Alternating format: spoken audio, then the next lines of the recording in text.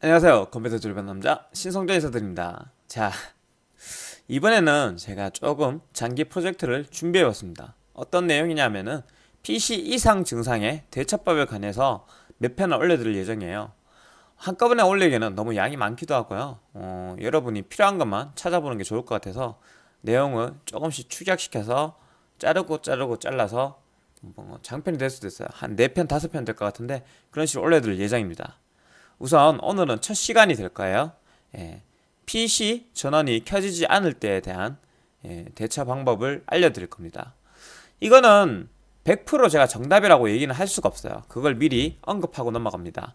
제가 8년 동안 영업해보면서 쌓아온 경험에 의한 예, 결론 도출이지 이게 무조건 이 증상에는 이렇게 뭐 요것만 교체하면 무조건 100% 고쳐진다 이런 건 아닙니다. 예, 이 증상에 대체적으로 이쪽이 분량이 많았다에 대한 이야기가 될 것이고요. 그리고 내용 특성상 여러분이 충분히 따라할 수 있는 난이도가, 난이도가 높지 않은 해결 대책만 알려드릴 겁니다. 뭐 내용이 너무 부족하다, 전문가 치고는 너무 미흡한 거 아니냐 이런 식으로 얘기하실 수가 있는데 그런 내용 같은 경우 예를 들어 뭐 납땜을 한다거나 부품을 교체한다거나 부품을 그냥 교체하는 게 아니죠. 예. 그런 거 좀 어려운 것들은 여러분이 하기 힘든 경우가 있기 때문에 예. 빼놓고 비교적 간단한 방법만 알려드리겠습니다. 혹시나 아쉬운 게 있으시면 질문글로 남겨주시면 답변을 드리겠습니다. 우선 오늘 보여드릴 거는 이 두 가지입니다. PC 전원이 켜지지 않거나 어, 켜지지 않는다에 대한 두 가지 팬은 돌아가다가 멈추거나 아니 잠시 돌다가 꺼지는 경우 혹은 전원이 전혀 켜지지 않는 경우 두 가지를 나눠서 보여드릴 예정이고요. 어, 우선 첫 번째 증상의 경우는 팬이 돌다 멈췄거나 또 돌다가 멈추거나 아니면은 잠시 돌아가다 툭 멈춥니다. 이 예, 증상에 대한 얘기입니다. 음, 팬이 돌다 멈추기를 반복하거나 아니면은 짧게 두 번 혹은 세 번의 비품이 울리는 경우 있잖아요. 쭉 이렇게 띠, 띠, 띠 울리거나 아니면 띠 이렇게 길게 울리는 경우. 그 경우는 보통 메모리나 그래픽카드의 접촉 불량을 의심하시면 됩니다. 특히 메모리 접촉 불량이 많아요. 어, 메모리 접촉 불량은 메모리를 재장착, 그러니까 완전히 양칼을 눌러서 뚝 뽑았다가 다시 꽂아넣거다. 뽑았다, 꽂아넣었다 반복을 하면은 슬롯과 메모리 쪽에 골드 핑거라고 하죠. 예, 그 금속에 맞닿는 부분이 있잖아요. 슬롯과 그 부분이 둘 다 충분히 긁혀서 접촉 불량이 해결이 되는 경우가 많습니다. 혹은 램 소켓이 4개짜리라면은 이 칸으로 예, 옮겨 꽂으셔도 되고요. 아니면 슬롯에서 메모리 카드를 빼고 그래픽 카드를 빼고 그 골드 핑거 부분을 지우개질하거나 알코올솜으로 닦으시면 됩니다. 요거에 대한 내용을 일단 먼저 영상으로 보여드리겠습니다. 네, 신성조입니다. 오늘 보여드릴 거는 PC 전원이 제대로 켜지지 않을 때 자가 진단 방법입니다. 일단 첫 번째 증상부터 보여드리겠습니다.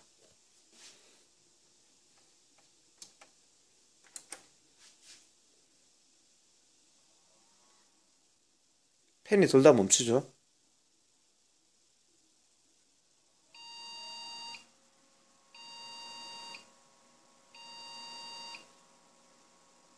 이런 식으로 비품이 나고 정상적으로 화면이 들어오지 않습니다.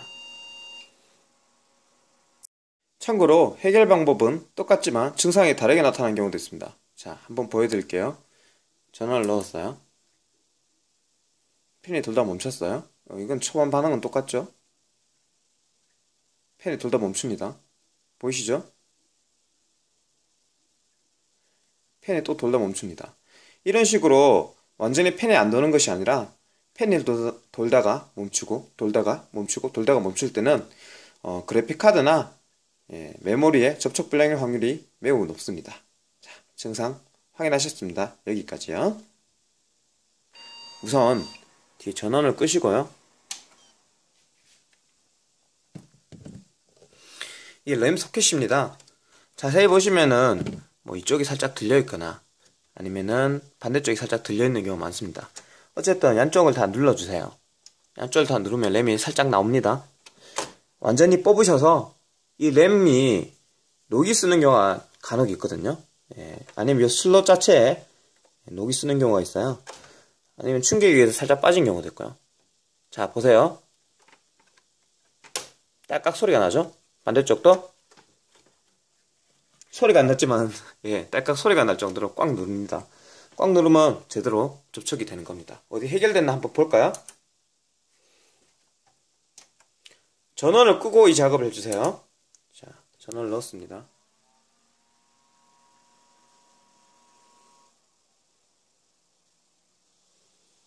자, 화면이 들어오죠? 어, 여기까지입니다.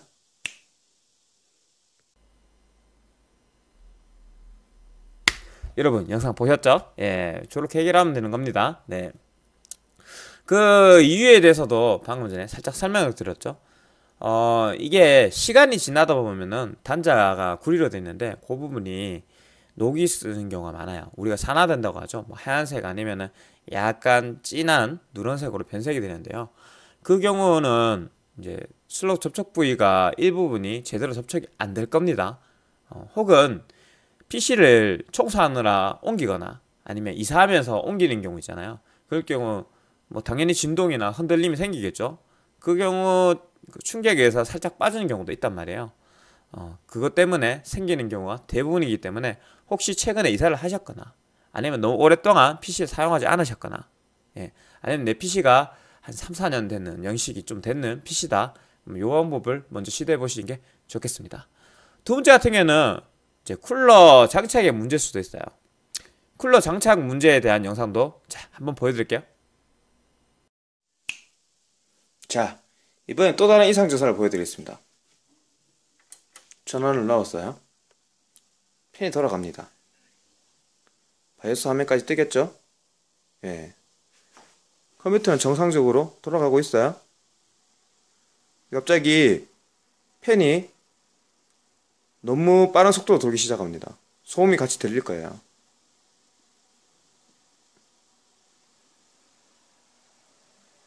들리시죠? 이 CPU 펜이 빠르게 도는 소리가.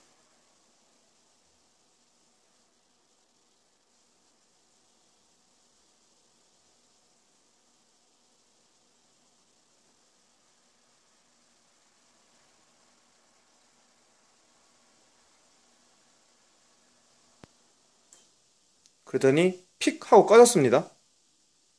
네. 픽 하고 꺼졌어요. 자, 이거는 어떤 문제냐면은 펜이 예를 들어 뭐 펜을 청소한다든지 아니면 뭐 서머를 제도포한다든지 하셨을 때 제대로 장착을 못해서 생긴 문제입니다. 흔들어 보시면은 펜이 흔들리죠? 예. 이 펜을 완벽하게 장착하는 방법은 요거 있죠? 요게 방향이 있어요. 자세히 보시면은 화살표 방향이 이쪽으로 이렇게 돌게 되어 있습니다. 이쪽으로 돌리게 된 게 풀리는 겁니다. 예, 그래서 이 방향으로 다 돌리시고요. 반대로 반대 방향으로 다 돌리셔야 됩니다. 예, 보이시죠? 이 방향으로 다 돌리셔야 돼요. 네 가지를 다. 네 가지를 다 돌리고 네 개를 다 딸깍딸깍 소리 날 때까지 닫으셔야 됩니다.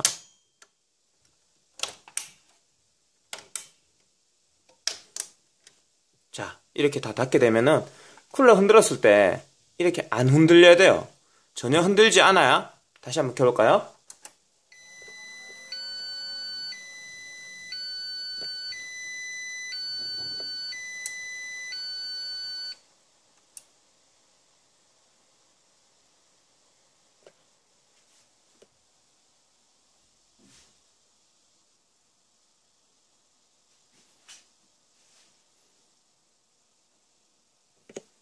자, CPU가 온도 때문에 셧다운이 한번 됐었다고 메시지가 뜨는 건데요.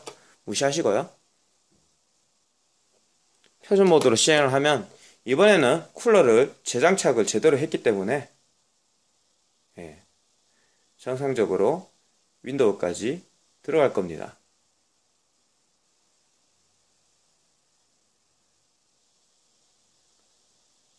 보이시죠? 네. 특히 이 쿨러 장착의 경우 메인보드 뒷면을 보면은 확실하게 알 수가 있어요. 살짝 보여드릴게요. 메인보드 뒷면에 보시면 네, 4개의 튀어나온 쿨러가 꽂혀있는 곳이 보이시죠? 네. 잘 보세요. 손으로 찝어 드릴게요. 이 네 가지.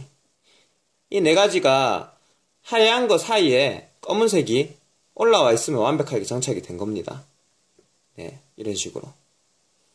자, 간단한 이상증상 해결 방법이었습니다. 여러분 보셨죠? 쿨러 장착이 제대로 되어 있지 않으면 흔들어 보면은 쿨러가 흔들립니다. 예, 뿌리 부분까지 함께 흔들린다는 그런 느낌이죠. 특히 초코파이 쿨러를 뭐 청소를 한다면서 다리를 부셔 먹거나 다리가 4개인데 그 중에 하나를 부셔 먹는 경우가 많습니다.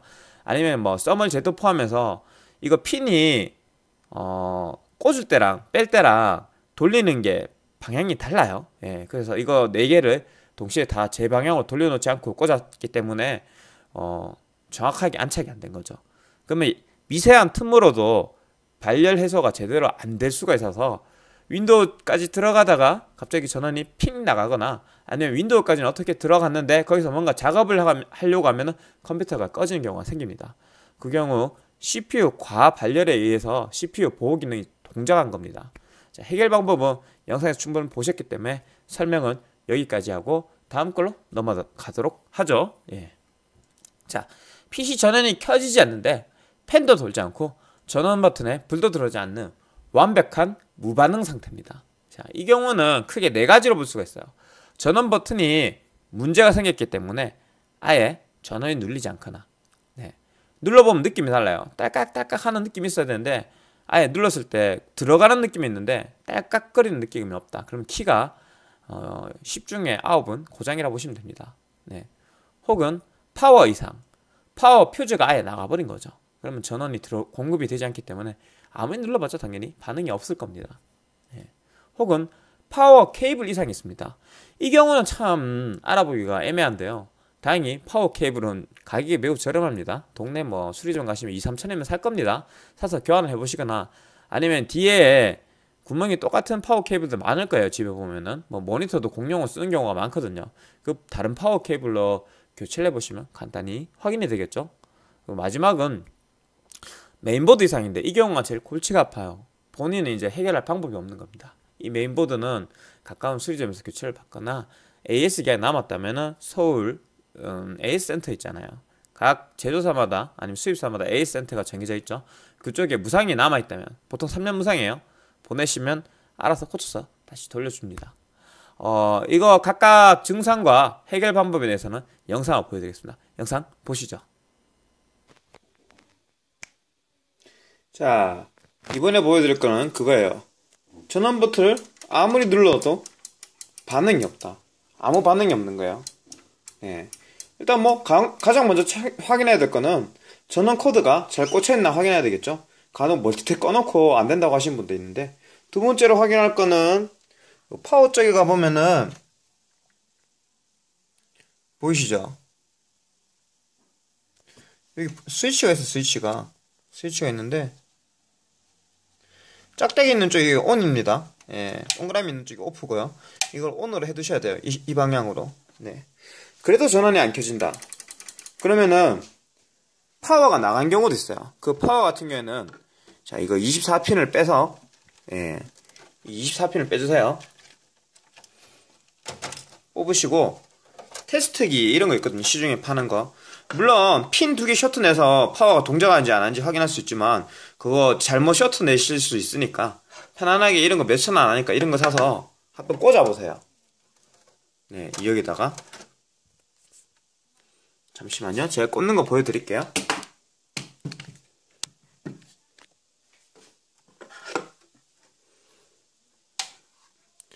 이런 식으로 테스트기를 물렸을 때 제대로 안 나오면은 파워 고장입니다. 이런 식으로. 근데 이렇게 멀쩡하게 돌아가면은 파워는 이상이 없는 거예요. 예.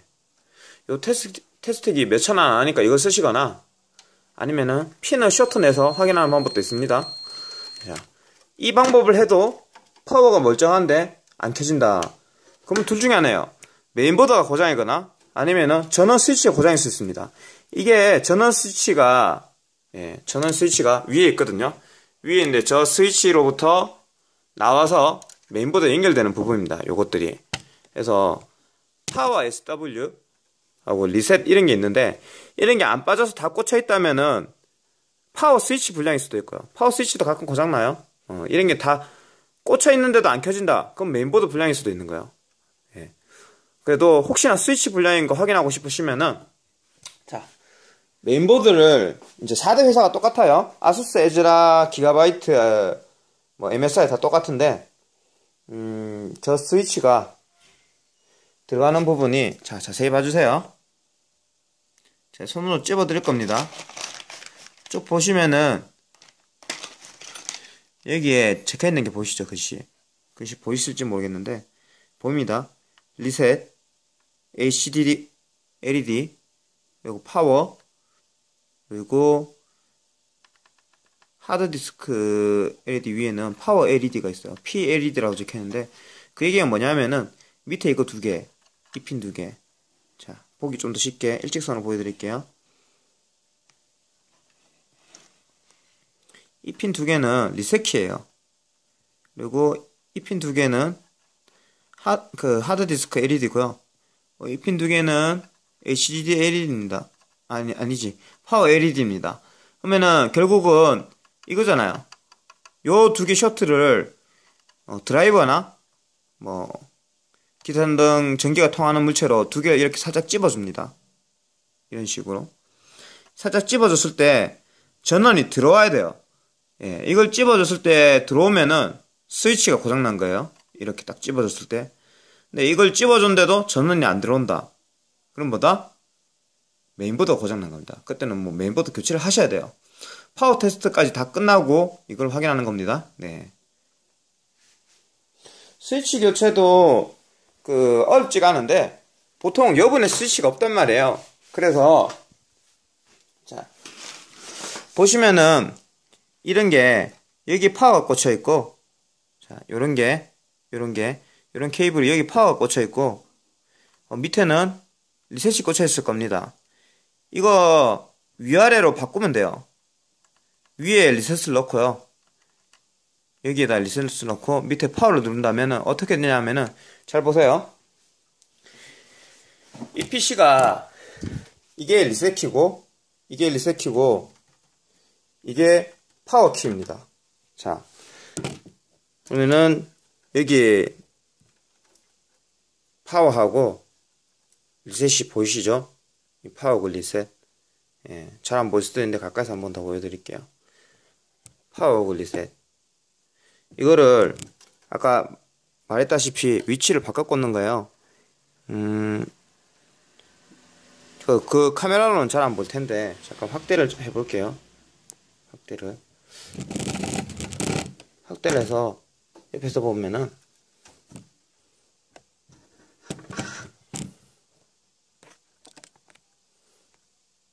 네. 위에 이거는 이쪽 부분이 파워였고요. 예. 이쪽 부분이 리셋이었습니다. 예. 리셋이었는데 이거 두 개 순서를 바꾸겠습니다. 밑에다가 파워를 놓고 위에다가 리셋 키를 넣어요. 이, 이 키를 이렇게 바꿔 꽂으면 어떻게 되겠어요?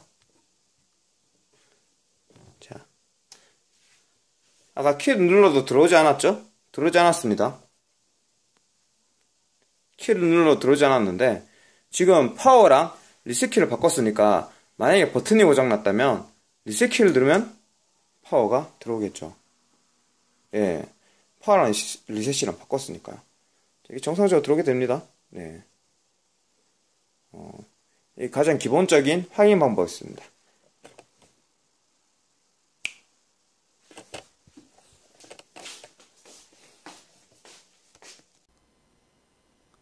영상 잘 보셨나요? 예, 간단한 해결 방법과 예, 증상에 대해서 보여드렸습니다. 물론 지금 제가 처음 영상을 찍다 보니까 이 부분이 뭐 초점이 좀 흔들거나 좀 두서가 없다 잘 안 보인다 이러실 수가 있는데 어 그럴 경우는 글을 남겨주시면 제가 한 번 더 설명해 드리겠습니다 아니면 실시간 방송에 들어와 주시면 좋겠죠 어 짧게 한 번 더 설명을 드리고 이번 시간 마치도록 하죠 어 그 해결 방법은 전원 버튼과 리셋 버튼 바꾸는 거 보셨죠? 예, 영상에서 이렇게 바꾸시거나 아니면은 직접 쇼트를 시켜서 전원을 켜보면 됩니다. 그렇게 켜지면은 이제 버튼이 나간 거고요. 예, 전원 버튼 문제는 1번으로 해결이 됩니다. 자, 2번 같은 경우에는 파워가 이상이 있을 경우 파워 24핀 중에 두 개의 핀을 예, 그 쇼트 내면 파워가 돌긴 하는데 이 핀을 제가 지정해서 알려드릴 수는 있어요. 근데 혹시나 그 잘못 보고 잘못 셔틀 내가지고 큰일이 날 수 있을까봐 차바 그거는 영상으로 안 찍었습니다 일부러. 예, 저는 할 줄 알지만 그래서 웬만하면 그 테스트기 그거 몇천 원 안 하거든요. 예, 그거 하나 사서 물려보시거나 가까운 수리점에서 테스트 해달라고 하면은 동네 수리점도 다 가지고 있어요. 뭐 간단하게 테스트를 해줄 겁니다. 파워 케이블 이상이야. 아까 말씀드렸다시피 교체를 해보시면 되는 거예요. 케이블 교체. 간단하죠? 어, 해당 테스트를 파워도 했지, 우리 버튼도 해봤죠. 거기다가 이제 케이블 문제까지 다 확인했는데 전원이 켜지지 않는다면 보드 불량일 확률이 높습니다. 아예 팬이 안 돈다면 말이죠. 그 경우는 보드 교체밖에 답이 없겠죠. 네. 아, 여튼 오늘 이렇게 간단하게 전원이 아예 켜지지 않는 경우에 대해서 어, 보여드릴까요? 다음 시간은 전원이 들어오나 윈도우가 진입되지 않는 방법에 대해서 어, 대체 방법을 보여드릴 겁니다. 이 시간이 조금 아, 아쉽거나 부족한 점이 있다면 따로 밑에 리플 남겨주시길 바라며 어, 여기까지였고요. 이 영상이 도움이 되셨다면 좋아요와 구독 부탁드립니다. 이만 신성주였습니다. 물러날게요. 바이바이.